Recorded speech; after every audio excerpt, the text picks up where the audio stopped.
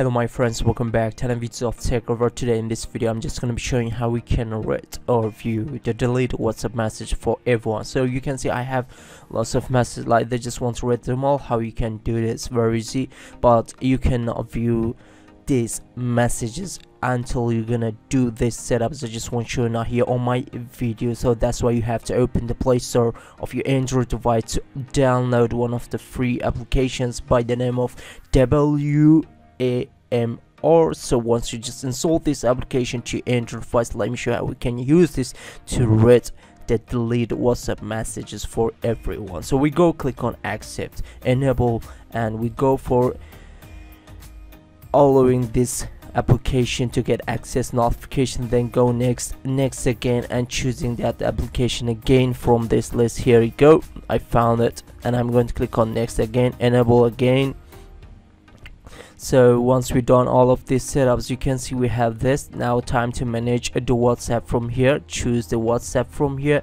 then go exit and you can now read all the text which has been deleted from your whatsapp with that application. And how it worked let me show you.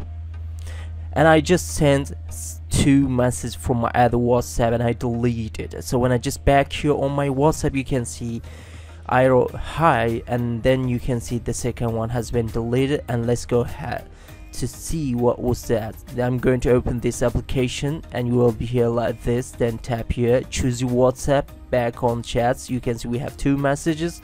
I'm going to open that and you can see the first one was hi and the second was how are you? and it's giving me info. I just received two messages and it's going to show you the deleted and undeleted uh, messages from your WhatsApp just here on this application as giving info message recovered with the WAMR application.